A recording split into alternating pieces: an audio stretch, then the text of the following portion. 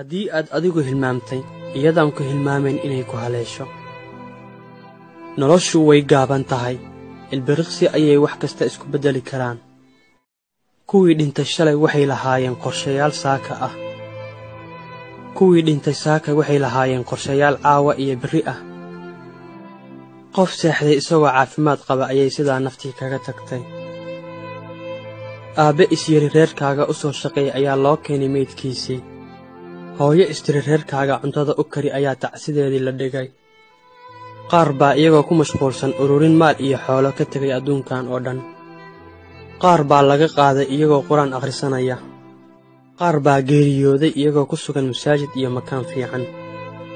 Qaar bay kaga boodday iyadoo ku sugan meel xun iyo munkar.